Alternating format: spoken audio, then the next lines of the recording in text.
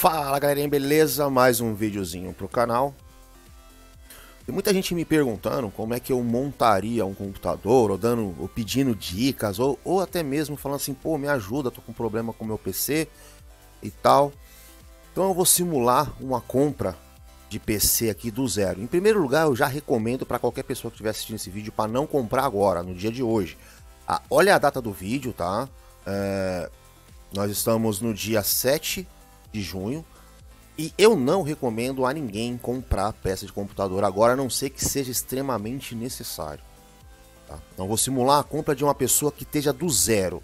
A pessoa não tem nada, tá? Não tem nada e vai montar um computador do zero. Então tá aqui. O resultado final uma compra como essa seria um total de R$ 4.667. É muita grana, velho. Eu não recomendo nem a pau. Tá? Com isso você compra aqui é, memória, monitor, HD, placa-mãe, processador, é, mouse, um mousepad, é, gabinete, fonte, teclado e um headset. Lembrando que as peças que eu escolhi aqui são peças que vão perdurar, não é, é, é, é comprar peça baratinha, é comprar uma peça que seja barata e que tenha o maior desempenho possível, é o chamado custo-benefício. É o menor preço pela maior entrega. Então espero que vocês entendam isso, tá? Então é um processador que vai durar bastante, é uma placa-mãe que tem uma configuração legal, tem uma durabilidade boa, um HD que tem uma qualidade boa, um monitor que tem um, um, uma, uma, qualidade é, é, visual decente, né? São memórias que você pode fazer overclock nela, que elas não vão torrar na tua mão. Né? O que, que mais tem aqui? Um processador que já vai vir com uma placa de vídeo que dá para você jogar praticamente tudo em 720p HD e muitos dos títulos também em Full HD. Né? Um mouse que você pode ter configurações do mouse, um mouse da Corsair, não tá tão caro. É um mousepad, é um gabinetezinho decentezinho que você pode né, trocar por outro também, mas eu escolhi entre aspas o melhor custo-benefício, como eu já falei para vocês, uma fonte decente de 450 watts e já vai segurar esse refrão aqui, inclusive com o upgrade de uma placa de vídeo tá? Um teclado decente mecânico, tá? Por um preço acessível e um headset que, para mim, dos mais baratos, ele é um dos melhorzinhos, tirando o meu que eu não consegui achar aqui, tá? Tá em falta em qualquer lugar que você vai procurar. Eu usei a Kabum como parâmetro, porque assim, as peças que eu procurei aqui, eu tentei achar configurações iguais com um preço legal em outras lojas de não conseguir, tá faltando peça em um monte de gente de lugar. Detalhe também, não sei se o pessoal tá boicotando, não sei se é por causa da alta do dólar, não sei se é por causa da quarentena, eu não tenho a menor ideia do que está acontecendo. O que, eu, o que eu tenho agora a ideia do que está acontecendo é que não é viável comprar computador hoje, a não ser que seja extremamente possível e você tenha esse dinheiro sobrando, tá? É, como eu falei no começo, isso aqui é a simulação, né? É, um, é uma é a simulação de quem não tem nada. E logo para frente eu vou deletando algumas partes aqui, da, da, algumas peças, porque muita gente só quer só pegar a placa-mãe, processador e memória, né, e fazer um, o chamado kit upgrade, beleza? Também é viável? Também é viável. Vale muito mais a pena sim hoje você fazer um kit upgrade do que você comprar tudo do zero, tá? Então, recomendo muito para que você pesquise bastante e compre coisas em promoção com qualidade decente que vai durar. Uh, vamos falar sobre as memórias. Como eu falei, memória 2400 é, são as mesmas memórias que eu tenho aqui no meu computador agora. E elas estão overclockadas a 3000 MHz. Então, ou seja, é uma memória que chega a 3000, 3200 MHz de boa. Na, nessa placa-mãe que eu tô aqui, que é esta placa-mãe aqui, ela chega a 3000 e fica sussa, beleza? Então, por que de dois pentes de memória e de, por que de dois pentes de 8 GB de memória? Tá aqui a quantidade, ó. Simples. Primeiro lugar, quem vai usar APU, ou seja, a placa, a placa de vídeo que já vem dentro do processador da AMD, precisa de uma memória rápida e precisa de dual channel. Mas por que eu escolhi dois pentes de 8 ao invés de dois pentes de 4 para baratear melhor? Como eu disse, é para ter longevidade. Você vai comprar agora e não vai precisar fazer o upgrade tão cedo, certo? Certo. Olha aqui, ó. Ok, gerenciador de tarefas. Dá uma olhadinha aqui no, no uso da minha memória. Eu só estou gravando e tem aqui o meu Spotify ligado, o meu Streamlabs ligado e a, as abas do Chrome. E tem 5 GB de memória RAM usada. certo? Lógico, depois se eu desligar isso aqui tudo, vai dar uma diminuída. Se eu desligar o Streamlabs, vai dar uma diminuída também.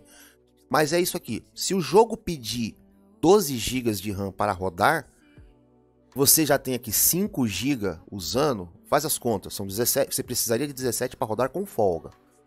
Lógico, não são todos os jogos que pedem 12 GB, 8 GB, tem, mas assim, é melhor ter e não precisar do que precisar e não ter. Processadores AMD e, e APUs, eles se beneficiam da do clock da memória e do dual channel. Nada melhor, você já vai comprar e já vai parcelar, embute isso daqui no preço. Cara, recomendo muito, certo? Bora pro monitor. Por que o monitor nessa configuração aqui? Escolhi o melhor monitor pelo menor preço. Dá pra você escolher coisa melhor? Dá, mas tem que garimpar muito e não tinha na loja, certo? Não tinha aqui no momento. Um, monitor decente, né? Entre aspas. E vai entregar uma qualidade de imagem boa para você por um preço legal. E já é Full HD, quando você colocar a tua placa de vídeo mais para frente, que é essa a intenção, é você montar, rodar tudo em, em, HD ou até Full HD, tem uma qualidade de imagem boa e para um futuro upgrade, um upgrade de placa de vídeo, você já tem um monitor decente que aguenta é, é, te entregar uma qualidade de imagem boa, porque muita gente não fala isso para você a, de todas as configurações, os caras só focam em processador, placa-mãe, placa de vídeo, memória. Aonde você vai ver os seus jogos? Aonde você vai ter a experiência de imersão? É no monitor, certo? Então sim, quanto melhor o monitor, melhor vai ser a qualidade que isso aí vai te apresentar, vai te, te proporcionar, certo? Então esse monitor aqui também seria um monitor decente, você pode escolher outros, né? E assim vai. Vou citar uma pequena coisinha aqui. Ah, monitor de 144 Hz, de 75 ou de 60. Parte básica, se o teu hardware não aguenta empurrar 144 Hz, é desnecessário, certo? Se o seu monitor for de 60 Hz e o seu hardware for de 100, está entregando 180, 190 FPS, você só vai enxergar 60, tá? Então, é, é a via de mão, de mão dupla, tá ligado? Um hardware muito potente num monitor bosta, você só vai enxergar 60. Um hardware muito ruim com um monitor 144, você só vai enxergar o que o teu hardware pode mandar. Então, achar um equilíbrio é a parte boa e é o que eu estou tentando fazer aqui. O HD. HD eu não coloquei SSD para baratear, coloquei um HD de 1 tera que vai dar conta de você colocar o sistema operacional e os seus jogos e depois você faz mais para frente, tá? É, placa mãe, eu escolhi a 350 que é a mesma que eu estou usando aqui agora, por quê? Ela tem capacidade de fazer um overclock básico no seu processador, ela faz overclock na tua placa de na tua placa mãe e ela não ela tem dissipador no VRM, ela não esquenta muito fácil, ela tem um ela tem uma qualidade de construção muito boa e eu recomendo muito essa placa aqui. Tá? Muitos amigos meus já compraram essa placa aqui, usaram, estão usando e cara, não tem não tem problema nenhum com isso, não tiveram nenhum problema com isso daí. Tá? As memórias eu escolhi também, porque são as mesmas memórias que eu estou usando, ela, é super compatível com a placa-mãe, tá? Tem isso também, quando você for comprar as memórias, tem que e for AMD, né? Você tem que ver é, se elas são compatíveis, que você pode ter problema com a memória. Aí que vem o pulo do gato. Por que, que eu escolhi o 3400G? Primeiro que é um processador de geração nova, tá? Processador com geração, com a, da, da nova geração e que já tem uma placa de vídeo integrada. Então, tira que seja 1.500 aí, que é o preço das placas de vídeo hoje, tá? Se você for olhar, como eu falei, olha a data do vídeo. Se você for olhar hoje, hoje, placa de vídeo baratinha tá 1.500 conto, velho. Então, para evitar gastar um dinheiro numa placa de vídeo, né, que não vale 1.500 conto, tá aqui. Você pega isso aqui, você vai poder rodar bastante coisa com isso. O resto é periférico, tá? É periférico. É, eu escolhi esse mouse porque é um mouse que tá num preço decente, né? Tava num preço decente, sei até quando. É, ele tem 12 mil de DPI, vai ter software para configuração, é da Corsair, tem bastante bastante durabilidade nesse mouse aqui pelos, pela construção dele, os materiais dele. O mousepad eu peguei só para poder, né, combar com as coisas e eu vou tirar depois, tá? Isso aqui. Uh, escolhi da Havit porque eu já tive esse mousepad da Havit, eu gostei muito, ele é muito bom. Beleza? Uh, um gabinete.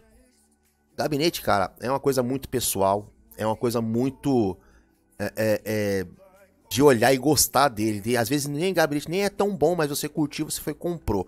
Eu escolhi esse aqui porque ele tem PSU, PSU cover, que ou seja, a fonte fica escondidinha ali, os cabos ficam por trás, ele é pequenininho. e tava num preço decente, eu coloquei aqui na, na, nessa lista. 450 watts de, de, de, fonte aguenta? Essa CPU aguenta, sossegado. Pode colocar ela, que você pode colocar uma 570, é, 1660, 1650, 1580, você vai, você vai segurar bem aqui, tá? Porque o resto das coisas não vai consumir muita coisa, não. Teclado é a mesma coisa, eu peguei um teclado mecânico, por que você não pegou um teclado de membrana e tal, não sei o que? Porque, mano, eu tô falando de peças que vão durar, velho. Ó, eu tô com o meu teclado, não sei se vocês vão conseguir enxergar aí, ó. Até hoje o meu Redragon aqui, ó, o Varuna, tá três anos e castanhares comigo aqui, tá ligado? E não deu problema. O meu mousepad também, o meu mouse também. Então são coisas que você vai gastar dinheiro e não vai voltar, tá ligado? Você não vai ter dor de cabeça com, com, com peça depois. A não ser se você tiver um azar de comprar peça já com problema. Aí já é outros 500. Entendeu? Comprar carro aí que já vai com defeito, imagina um teclado, né, mano? E o headset, eu, como eu falei, eu iria escolher esse daqui, que é o Minus, né? O Redragon Minus, que tem um preço bom, uma qualidade de som legal. Não achei, cara, aqui para vender. Então, dos pior, esse aqui foi o melhor, né? Em relação a custo-benefício. Acima disso aqui é 400 pau. Então já não. Não dá. Acima disso daqui, sério mesmo. Melhor do que isso daqui agora. Aí o salto já vai para 320, 350, 400 reais. Entendeu? Agora vamos supor o que? Já que eu falei de todas as peças e falei do, do, do que, eu, do que eu faria, o que, que você vai fazer com isso aqui? O que você vai conseguir extrair disso daqui? É isso, ó. Você vai extrair isso aqui, ó. Ele tá jogando na Vega 11, que é a placa de vídeo que vem no processador, tá? E olha o desempenho no Apex, beleza? Vou te mostrar as configurações aqui. Será que ele mostra? Mostra a configuração. O cara tá rodando é, em 1080p, se eu não me engano, eu tirei o áudio que é para justamente não dar BO e tal. Eu vou mostrar o site do cara depois, para não, de, não ter problema, tá ligado? É... Ah, cara, eu... aqui, ó, pronto. Ele deve ter aqui a configuração aqui embaixo, aqui, ó. CPU Z Apex Legend, pronto. Eu acho que ele não mostra a configuração. Mostra aqui, ó, tá vendo? Tá rodando em 1080p, tudo customizado, beleza, para aguentar um me melhor desempenho. E olha o desempenho. Você vai rodar 60 FPS na placa de vídeo onboard, cara. Um Apexzinho, olha. Entendeu? Tipo assim, então, pra mim, hoje, se eu fosse comprar, comprar um, um, um OBF5 também no multiplayer, ó. No multiplayer, rodando a 50 FPS, 40 FPS. Se eu fosse comprar hoje, eu compraria esse kit, tá? Eu compraria desse jeitinho aqui que, tá, que você tá vendo, entendeu? Coloquei até a busca aqui, jogo 720p. Para quê? Para ver qual era a configuração, é, qual que era a, a, a, a, perda que você tem no 1080p, 720p, 720p. A maioria dos jogos roda em 720p muito bem, tá? Muito bem mesmo. Mas se você quiser um pouco mais de resolução, tu coloca em 1080p, tira todos os gráficos que vai rodar legal. Alguns jogos não vão rodar bem, infelizmente, não tem como, não dá, tá? Porque é muito peso para um, pra onboard, mas jogar os jogos que você está vendo aqui, os FPS rodando aqui, numa onboard, cara, porra, tá muito bom, certo? E aí mais pra frente, quando você estiver desafogado, o que, que você faz? Você vai comprar uma placa de vídeo. E aí você sai disso daqui, de rodar em 1080, 720p no low, para rodar isso aqui, ó. Quer ver? Eu vou colocar, tá aqui o outro vídeo, ó. Tum. Já rolou já o Apex. É... Battlefield já passou também, né? Ó, Battlefield 5 no multiplayer, tá? Uh, Fortnite tava rodando lá, ó. Fortnite também. Eu cliquei errado? É, Fortnite rodando de boa. O vídeo pode até ficar um pouquinho longo, mas é para vocês ter parâmetro. Através daqui, você vai conseguir entender mais ou menos como é que funciona um conjunto. Como eu falei, às vezes uma CPU muito forte para uma placa de vídeo fraca não fica bom. Uma, uma, uma GPU muito forte para uma CPU muito fraca também não fica bom. E aí, talvez através daqui eu possa ter te ajudado a você achar um conjunto, tá ligado? Para você equilibrar placa de vídeo e, e processador, sacou? Aqui, ó. O Apex aqui já é o que? GTA? Deve ser GTA. É GTA rodando a 50 FPS, ó. Cara. Entendeu? E aí mais pra frente, o que você vai fazer?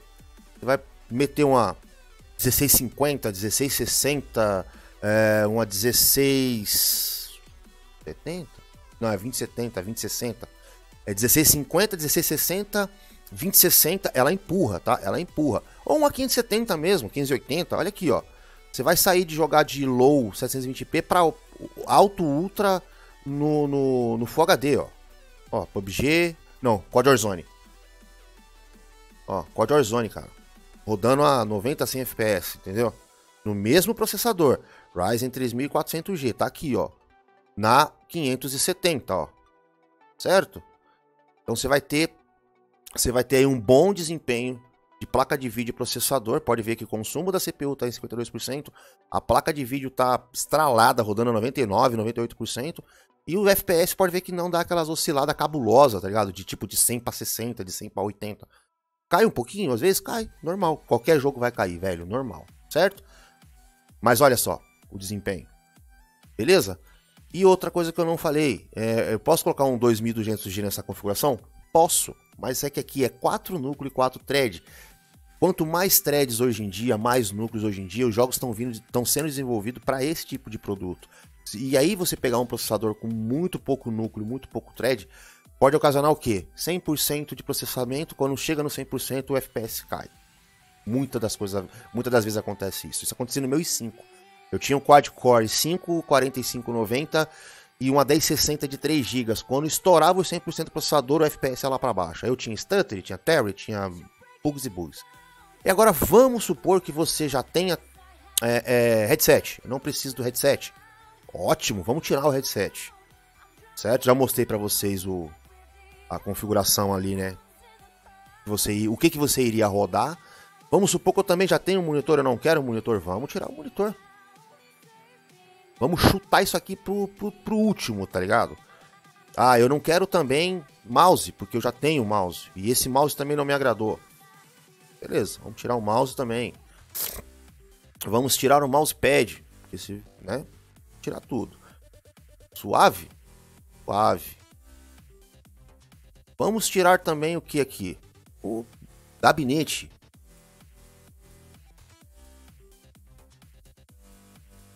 Pronto, pensei que o gabinete não ia sair, mano.